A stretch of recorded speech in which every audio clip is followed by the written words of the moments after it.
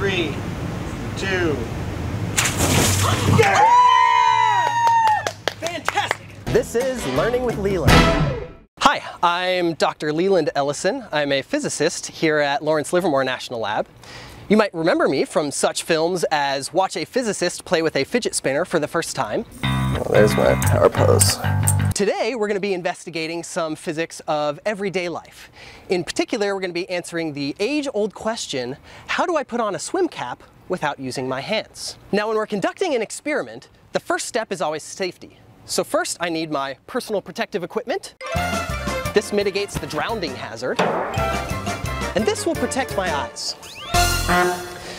Now, step two is also very important. It's to put on our thinking cap. Three, two.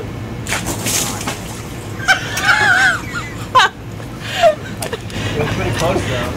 Three, two.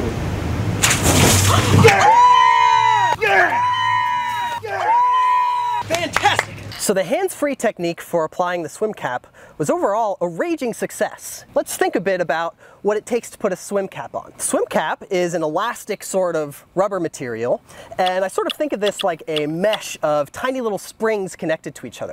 We need to apply some force to stretch those springs out, and then we're gonna extend it over our head. Now the springs are trying to compress and relax the swim cap back to its natural resting state.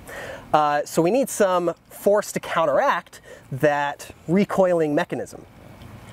Normally we apply that force with our hands, but this time we used the flowing of water, uh, which we got by giving it some gravitational potential energy and then releasing it. And the rubber didn't have enough force to keep the water from flowing down. So when the cap hits a high point on my head, the water flows smoothly around and it pressed on the cap relatively seamlessly. So one of the interesting aspects about this to me is to figure out what conditions are necessary in order for this to work. Certainly I think centering is a really important variable. If you drop the swim cap over on the side of my head, it's never going to center itself and roll on smoothly. Oh, this is fantastic. So we can really see that the point of impact is not centered on my head. The swim cap is not as round as when you're first holding it. It's actually fairly pointy, and the point of the swim cap is not even on my head. So this was really a glancing blow sort of application. If you were just to rest the swim cap over your head with water in it and let it go, that this would not work, that the restorative force of the rubber is going to try and keep the swim cap together, and it's gonna preferentially just roll to one side or another rather than smoothly roll on.